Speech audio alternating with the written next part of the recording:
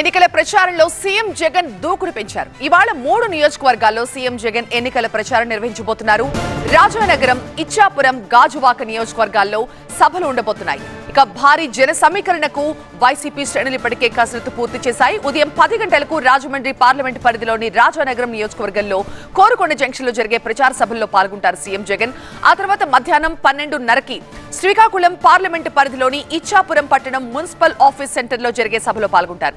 మధ్యాహ్నం మూడు గంటలకి విశాఖపట్నం పార్లమెంటు పరిధిలోని గాజువాక నియోజకవర్గంలో పాత గాజువాక సెంటర్లో జరిగే ప్రచార సభలో ప్రసంగిస్తారు సీఎం. జగన్ పర్యటన సందర్భంగా ఆయా నియోజకవర్గాల్లో పార్టీ నేతలు ఏర్పాట్లు చేస్తున్నారు. నిన్న మచిలీపట్నం ప్రచార సభలో సంచలన వ్యాఖ్యలు చేశారు సీఎం జగన్. తనపై కూటమి నేతలు కుట్రలు చేస్తున్నారన్నారు. ఎన్నికలు సరిగ్గా జరుగుతాయన్న నమ్మకం కూడా తనకు లేదు అంటున్నారు. పథకాలను పేదలకు వెళ్ళకుండా ఆపుతున్నారంటూ ఆగ్రహం వ్యక్తం చేసిన జగన్ ఇష్టానుసారంగా అధికారులను బదిలీ చేయడమేంటూ ప్రశ్నించారు. నిజంగా ఎన్నికలన్నీ కూడా బాగా జరుగుతాయి అన్న నమ్మకం రోజు రోజుకు కూడా సన్నగిల్లుతా ఉంది. కారణం ఏమిటి అనంటే ఆన్గోయింగ్ పథకాలకు సంబంధించిన ఆన్గోయింగ్ స్కీమ్స్కి సంబంధించిన బటన్లు నొక్కిన సందర్భాలలో కూడా డబ్బులు కావాలని అక్క చెల్లెమ్మలకు పోకుండా ఆపుతా ఉన్నారు. ఇష్టానుసారంగా అధికారులందరినీ కూడా మార్చేస్తూ ఉన్నారు.